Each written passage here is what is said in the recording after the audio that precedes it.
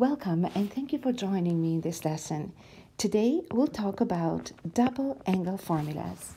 And just for the joy of math and because it's so much fun too, we are going to go over the proofs. First, we are going to look into sine of double angle theta. Sine 2 theta can, get, can be expressed as sine of theta plus theta. And if you remember your compound angle formulas for sine of the sum of two angles, so sine A plus B, which equals sine A cos B plus cos A sine B, then proving sine of 2 theta is very easy. So we have sine theta cos theta plus cos theta sine theta. As you can see, these two are like terms, so we'll say that we have 2 sine theta cos theta. Sine 2 theta, everyone. And we'll box it up because that's how we celebrate every proof we go through. I'm just kidding. So moving on to the next formula. For cos 2 theta, we'll have three different formulas. Nothing to be scared of. If you remember one of them, then you can remember the rest. Similar to how we prove sine 2 theta, we'll write cos 2 theta as cos of theta plus theta.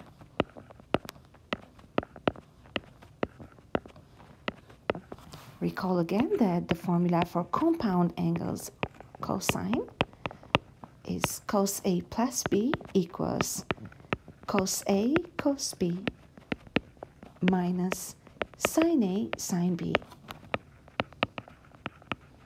So in our case, we'll say that cos theta plus theta would be cos theta cos theta minus sine theta sine theta.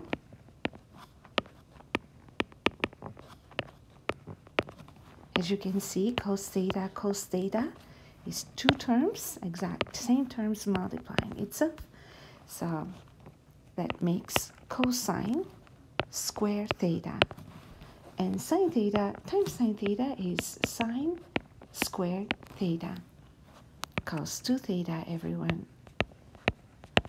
Let's box it up.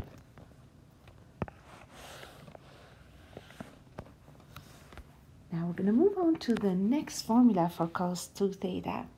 And here is a little secret about it. Now all the formulas for cos 2 theta will come from this basic formula that we just proved. So I will rewrite the same formula we just proved. So that's cos square theta minus sine square theta. If you remember, one of the first three formulas that we have learned is what we call the Pythagorean identity. It states that sine squared theta plus cos squared theta equals 1.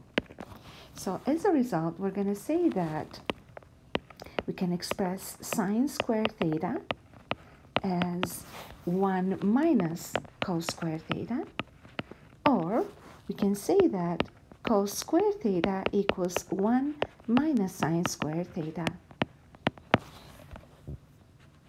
The presence of terms to the power of 2, which are typical in the Pythagorean identity, bring more variety in the formulas for cosine double theta. So as you probably have imagined already, if you replace cos squared theta by 1 minus sine squared theta, then we still have minus sine squared theta. Then cos 2 theta will simplify to become 1. Remember these two are like terms, they're both negative. So 1 minus 2 sine square theta. Another formula for cos 2 theta.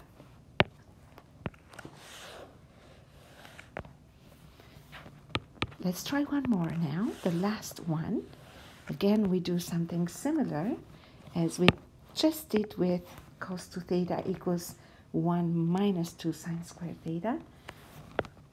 So we'll start off with cos 2 theta equals cos squared minus sine squared.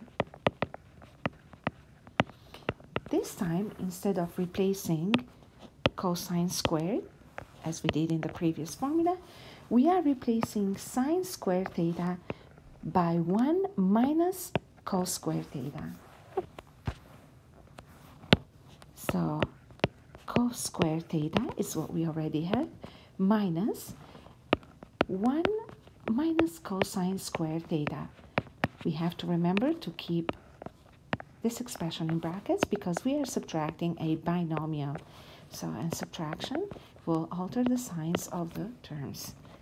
So this would equal cos squared theta minus 1 plus cos squared theta. As you can see here, we have two like terms, cos squared theta, both positive, which will add to 2 cosine squared theta minus 1. So there goes the last formula for cosine 2 theta.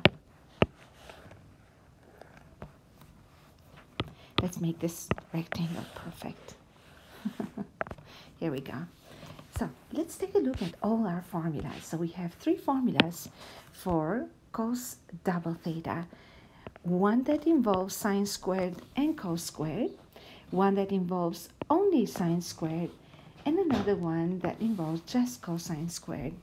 Now, why do we have to have, I mean, to use these three formulas? Are there advantages or disadvantages to using one or the other?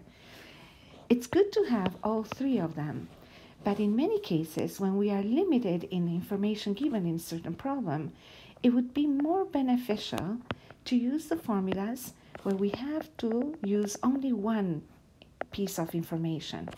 For example, if you have to find cos 2 theta using the first formula, you're going to need to know both cos and sine of theta. If you want to use the second formula, all you need is the sine of theta, so only one piece of information. And if you're using cos 2 theta equals 2 cos square minus 1, you only need to have cosine theta.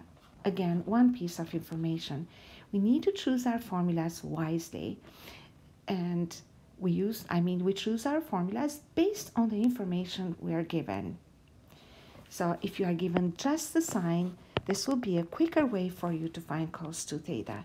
If you're given just cosine, this formula will be a quicker way to find cos 2 theta. Now, moving on to our last double angle formula for the primary ratios, tan theta very similar process to the one that we use for sine and cos 2 theta. We'll write it as tan of theta plus theta. And I will color code them because we're using tan more than once here. Recall the formula for compound angle tan is tan of a plus b equals tan a plus tan b divided by 1 minus tan A tan B. So that means that we have, let's make this a different color, sorry. That means that we have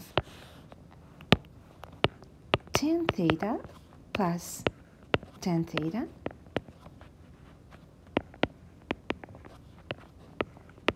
over 1 minus tan theta, tan theta.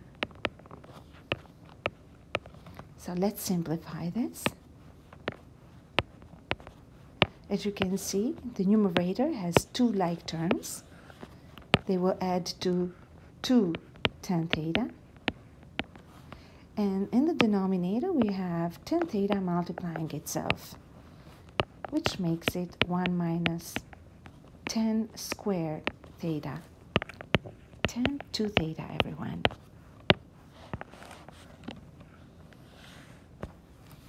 So these are the three formulas for the primary trig ratios of double angles.